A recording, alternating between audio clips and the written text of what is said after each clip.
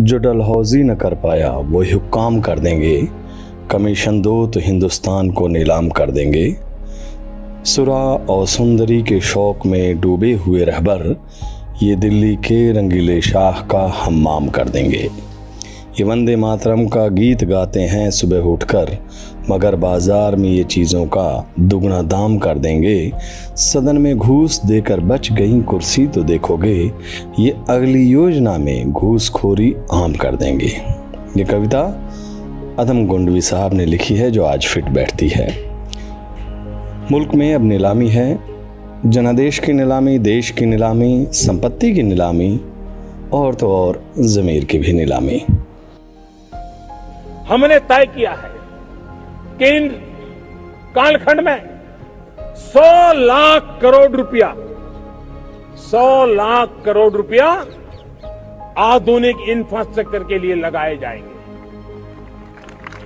जिसे रोज़गार भी मिलेगा, जीवन में भी एक नई व्यवस्थाएँ विकसित होगी जो आवश्यकताओं की 100 लाख करोड़ 100 लाख करोड़ से भी अधिक की योजना लाखों नौजवानों के लिए रोज़गार के नए अवसर लेकर के आने वाली गति शक्ति हमारे देश के लिए एक ऐसा नेशनल इंफ्रास्ट्रक्चर मास्टर प्लान होगा जो होलिस्टिक इंफ्रास्ट्रक्चर की नींव रखेगा। वैसे चौकीदार का काम संपत्ति की रखवाली करने की होती है, उसको बेचने का अधिकार नहीं होता। किसी सेवक या प्रधान सेवक का काम जनता की सेवा करना है न कि जनता या उसके देश की संपत्तियों पर बुरी नज़र रखना। हम सौदागर नहीं हैं हम चौकीदार भी हैं हम भागीदार भी हैं हमें गर्व है इस बात अरे हम तो फकीर आदमी हैं झोला लेके चल पड़ेंगे जी। फकीर का काम कष्टपूर्ण जीवन जीते हुए आम लोगों के लिए दुआ करना है। जिस तरह से हिंदू धर्म में भिक्षुक सन्यासी योगी स्वामी होते हैं, उसी तरह इस्लाम में फ़कीर होते हैं। फ़कीर का काम झोला उठाकर भागना नहीं होता है, बल्कि उसका काम सांसारिक विषयों को त्याग कर लोगों की दुआ करना होता है। हमारे देश के प्रधानमंत्री श्री नरेंद्र मोदी जी अपने आप को फ़कीर तो कहते हैं, लेकिन वो भूल जाते हैं कि फ़कीर के तन पर तो करोड़ों के कपड़े नहीं सजते। फ़कीर तो फक्कड़ होता है और उसे किसी सांसारिक चीज़ से क्या लेना देना? आप सबको याद होगा कि प्रधानमंत्री श्री नरेंद्र मोदी का सूट नीलामी में पूरे चार करोड़ इकतीस लाख रुपए का बिका था। 25 जनवरी 2015 को अमेरिका के पूर्व राष्ट्रपति बराक ओबामा और प्रधानमंत्री श्री नरेंद्र मोदी हैदराबाद हाउस के लॉन में बैठे चाय पर चर्चा कर रहे थे। उस साल बराक ओबामा गणतंत्र दिवस के मौके पर भारत के विशेष अतिथि बने थे। काले रंग के सूट पर सुनहरे धागे से लिखा था, नरेंद्र दामोदर दास मोदी। इसे सिर्फ़ एक बार पहनने के बाद प्रधानमंत्री मोदी जी ने इस सूट को नीलामी के लिए भेज दिया था। राजनीति भी कमाल की चीज़ है। बड़े बड़ों के कपड़े उतरवा देती है और बड़े बड़ों के कपड़े बिकवा भी देती है। वैसे इस सूट को खरीदने का एक ही लक्ष्य था और बेचने का भी नाम कमाना। हाल ही में प्रधानमंत्री मोदी जी ने नीरज चोपड़ा पीवी सिंधु और लवलीना बोरगोहन से कहा कि वह उनके द्वारा उपयोग किए गए उपकरणों की नीलामी करवाएँगे। इस पर तुम्हारा साइन है। हाँ।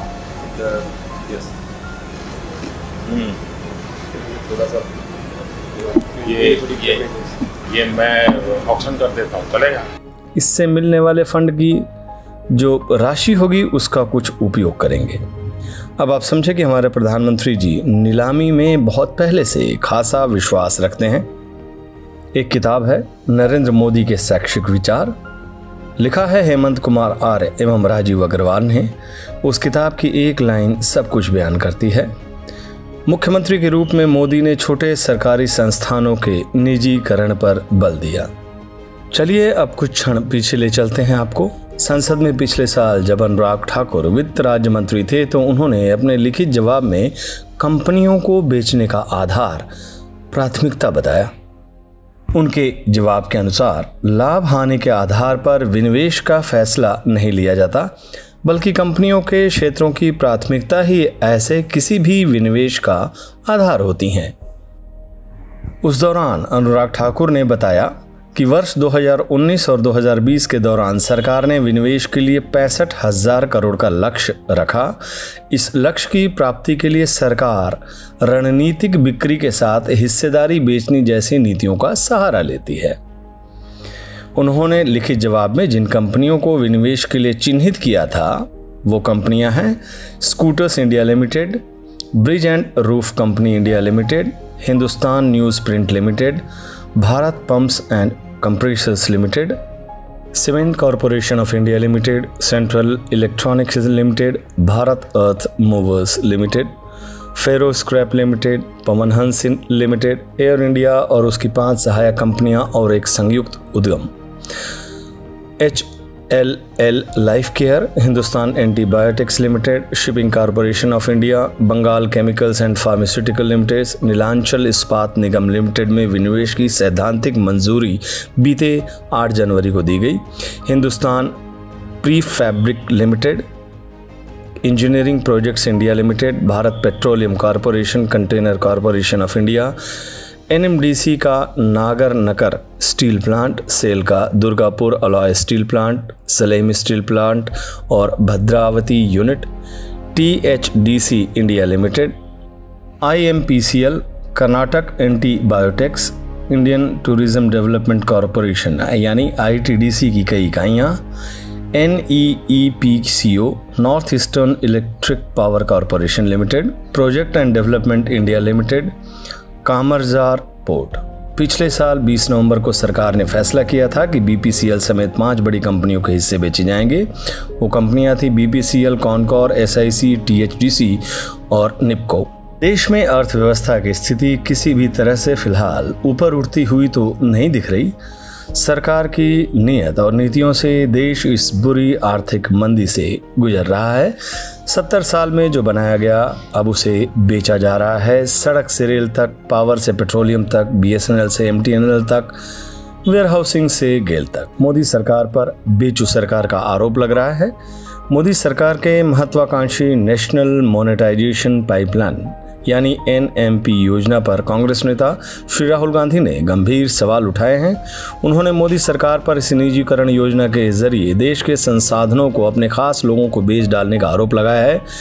राहुल गांधी ने प्रेस कॉन्फ्रेंस बुलाकर कहा कि सत्तर साल में जो भी देश की पूंजी बनी, मोदी सरकार उसे बेचने जा रही है। नरेंद्र मोदी जी का एक और बीजेपी का एक नारा था। सत्तर साल में कुछ नहीं हुआ।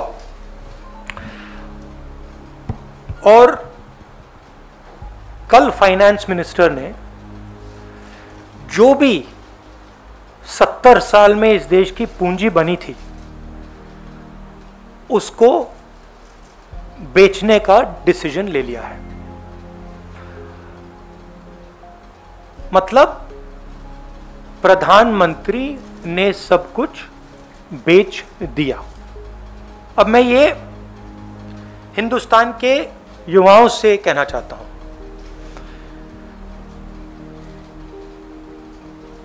आपके हाथ से रोज़गार छीना। कोरोना में आपकी मदद नहीं की। आपके जो किसान माता पिता हैं उनके लिए तीन स्पेशल कानून बनाए। और आज मैं यहाँ यह पढ़ना चाहता हूँ कि प्रधानमंत्री अपने मित्रों को हिंदुस्तान का क्या क्या बेचकर दे रहे हैं। और इसको पढ़ने से आपको पता लग जाएगा, मुझे कहने की भी ज़रूरत नहीं होगी कि कौन सा एसेट किसको जा रहा है? और ये जो सिलेक्शन किया गया है, ये किन लोगों के लिए किया गया है? और किस प्रकार से उनको फ्री गिफ्ट दिया जा रहा है? तो शुरुआत करता हूँ मैं रोडवेज़ 1.6 लाख करोड़ रुपीस का गिफ्ट छब्बीस हज़ार सात सौ किलोमीटर नेशनल हाईवेज। रेलवेज, जो इस देश की रीढ़ की हड्डी है, जिसके बिना भाई और बहनों, देश के गरीब लोग एक शहर से दूसरे शहर में नहीं जा सकते। आज जो लोग ट्रेन में बैठे हैं, आप सुनिए, डेढ़ लाख करोड़ रुपए रेलवेज 400 स्टेशन 150 ट्रेनें रेलवे ट्रैक और वुडशेड और जो हमारे रेलवेज के एम्प्लॉय हैं, आप भी बात समझ लीजिए, जब ये रेलवे से छीन कर किसी प्राइवेट एंटिटी को दिया जाएगा तो आप समझ लीजिए आपके रोज़गार का क्या होने वाला है। मुझे समझाने की ज़रूरत नहीं है। उसके बाद special gift power transmission 42,300 circuit kilometres of transmission network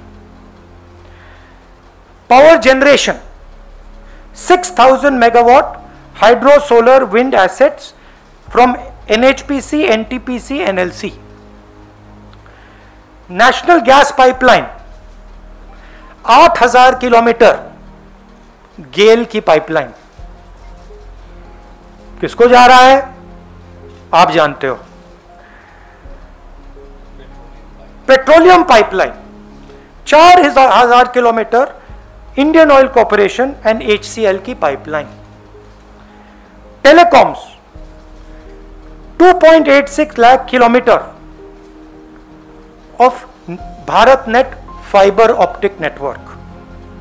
BSN BSNL and MTNL के टावर्स वेयर हाउसिंग किसान भाई आप इसको अच्छी तरह सुनिए।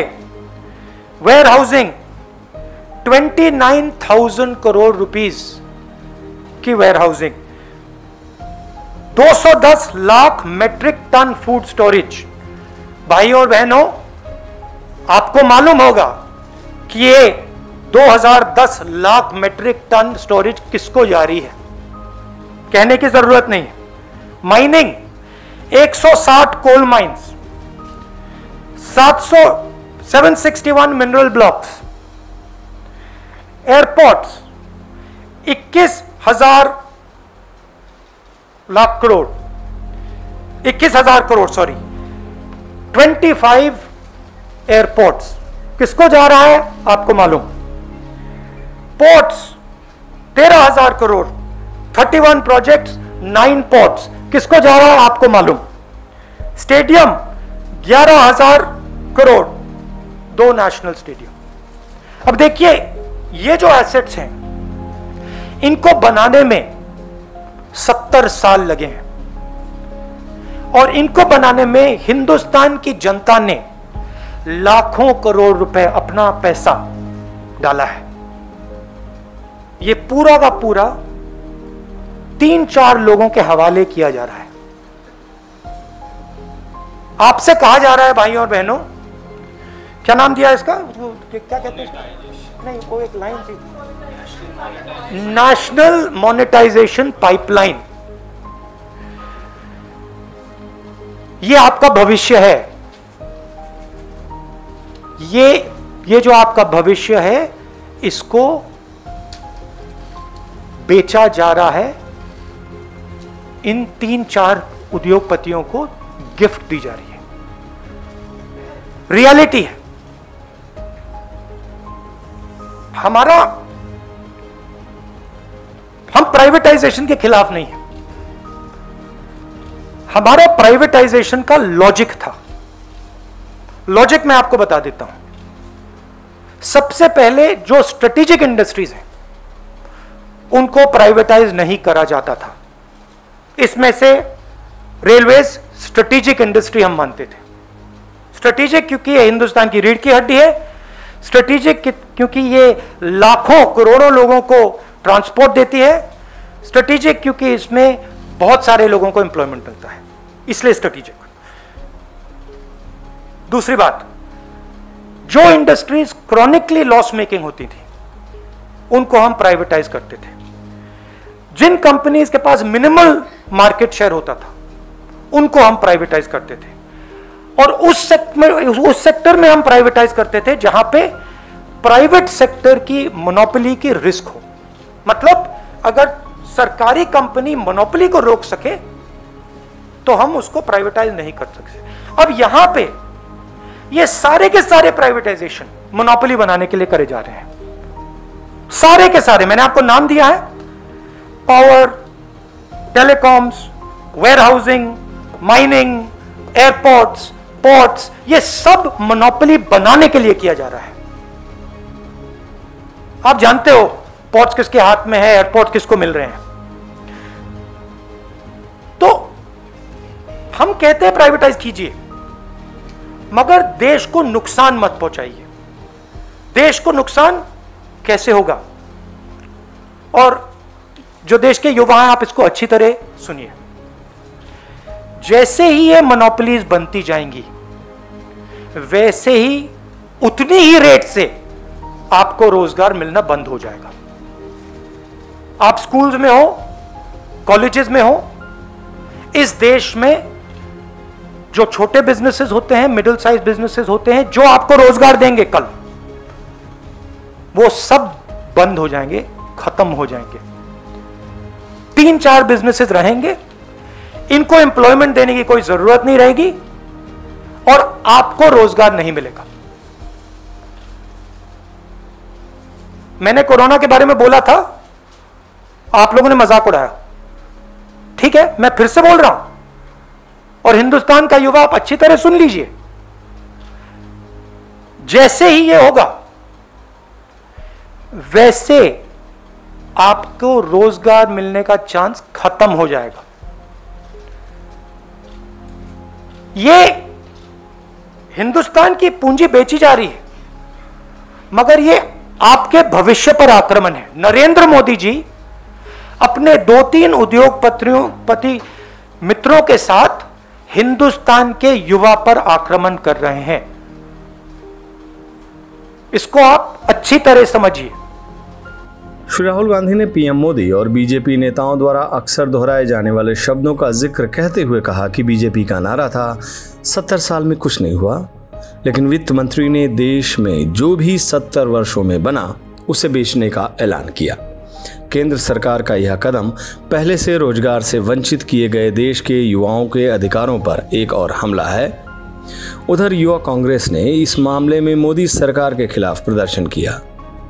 राष्ट्र की संपत्तियों को नहीं बेचा जाना चाहिए। यह विश्वासघात है। सरकार मौद्रीकरण की जो बात कर रही है, उसे लेकर लोगों के मन में तरह तरह के संदेश भी हैं और संदेह भी। इस संदेह की वजह सरकार के पूर्व में दिए गए बयान हैं, जिसके उलट यह सब हो रहा है।